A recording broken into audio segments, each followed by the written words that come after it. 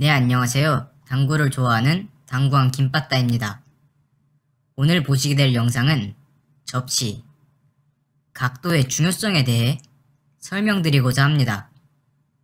여러분들이 접시를 칠 때, 어, 분명 충분히 나오는 각도인데 왜 안 되지? 라는 의문점을 해결해 드리겠습니다. 또 몇 가지 시도할 만한 배치들을 보여드릴 테니 끝까지 시청 부탁드리겠습니다. 그럼 영상 함께 보시죠.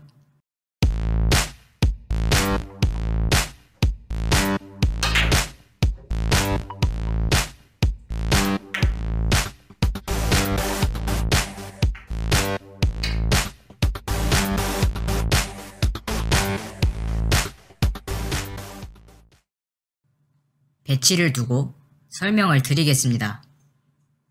이런 형태의 배치에서 접시를 치려고 할 때 각도상 코너 근처까지 수구를 보내면 득점이 됩니다. 하지만 이런 실수가 분명히 많이 나올 겁니다.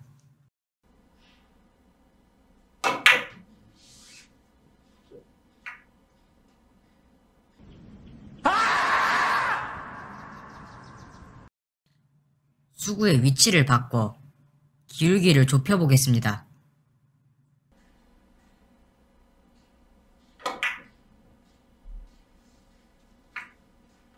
이런 각도에서는 정말 편하게 해결이 가능하죠?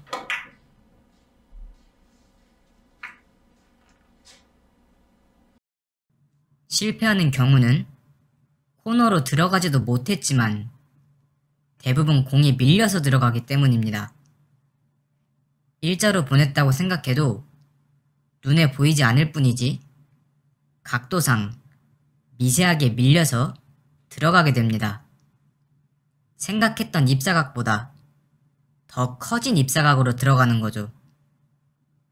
그래서 이렇게 얇은 두께로 시도할 때는 공이 밀리질 않으니까 입사각 그대로 들어가서 쉽게 득점이 가능한 겁니다.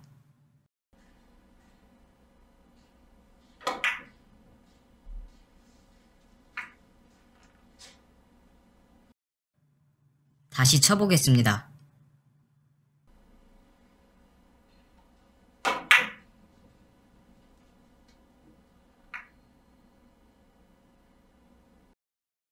눈으로 판별하기엔 티가 별로 안 나겠지만 약간 끌어서 각도를 만들어냈습니다. 물론 다이렉트로 보내도 득점이 가능합니다.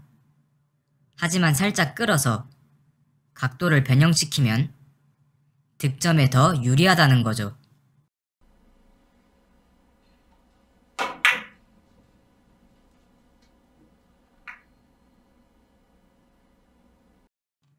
조금 더 이해하기 쉽게 보여드리겠습니다.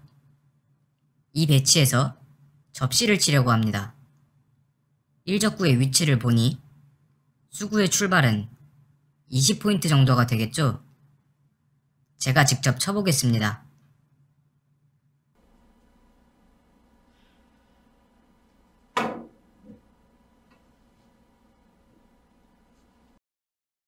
되돌아오기의 맥시멈은 보통 15포인트 정도인데 당연히 되돌아올 수가 없겠죠? 그럼 이 접시는 불가능한 공일까요?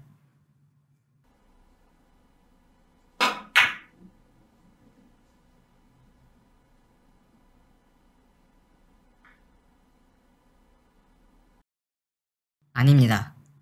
이렇게 끌어서 각도를 만들면 득점이 가능합니다. 끌어서 쳤을 때 공이 휘어지는 구간이 있습니다.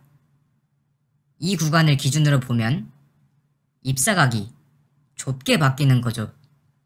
그래서 출발 입사각은 20포인트지만 끌어주게 되면 이렇게 입사각이 좁아진 상태에서 뱅크샷을 치는 것과 비슷한 경로로 가게 된다는 거죠.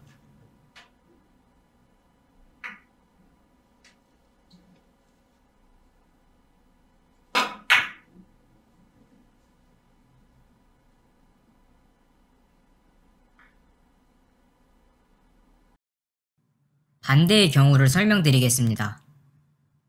이런 배치에서는 얇게 치면 득점이 가능할까요? 일적구의 위치를 보고 수구의 입사각을 보면 출발이 20포인트 정도가 됩니다. 회전을 잘 살려서 코너에 딱 들어가지 않는 이상 득점이 불가능하다고 봐야죠.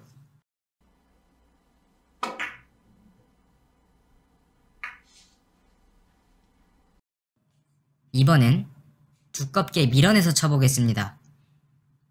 두껍게 민다고 했을 때 100% 두께를 치지 않는 이상은 처음에 분리각이 생긴 후 앞으로 밀리게 됩니다.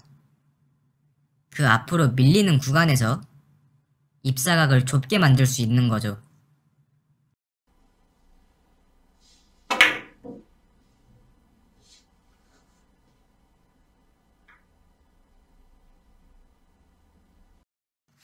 이 배치에서도 밀어서 접시를 쳐보겠습니다. 두 가지 방법으로 쳐보겠습니다. 차이점을 한번 봐주세요.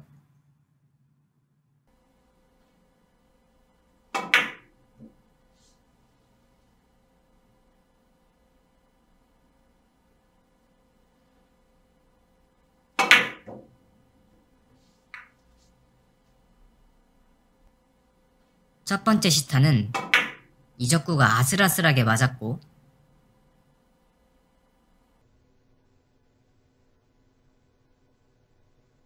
두 번째 시타는 훨씬 여유롭게 맞았죠. 무슨 차이일까요? 임팩트의 차이입니다.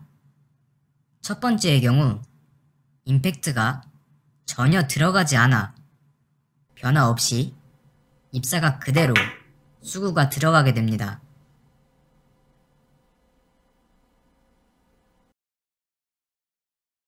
두 번째의 경우 약간의 임팩트를 실어줘 분리각을 만든 후 앞으로 밀려 들어가게 됩니다.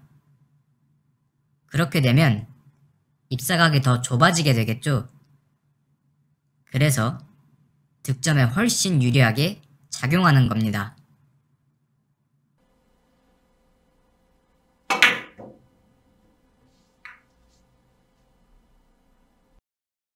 원쿠션만 놓고 비교해봐도 두 번째 방법보다 첫 번째 방법이 원쿠션이 더 깊게 들어갔지만 득점 자체는 두 번째가 더 여유롭게 들어간 걸 볼 수 있죠.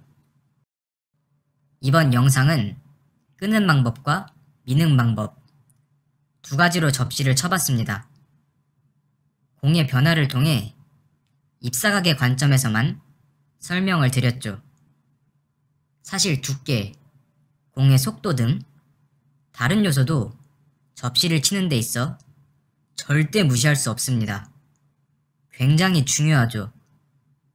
두께, 속도, 치는 요령까지 설명드리기엔 여러분께서 너무 머리가 복잡해질 수 있으니 추후에 정리해서 다시 올려드리도록 하겠습니다.